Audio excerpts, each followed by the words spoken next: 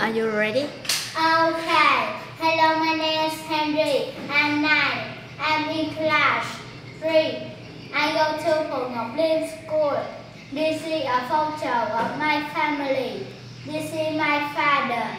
He's 32. He's tall. This is my mother. She, she's 32.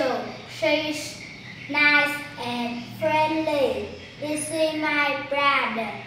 He's one. He's nice and lovely. This is me. I'm happy.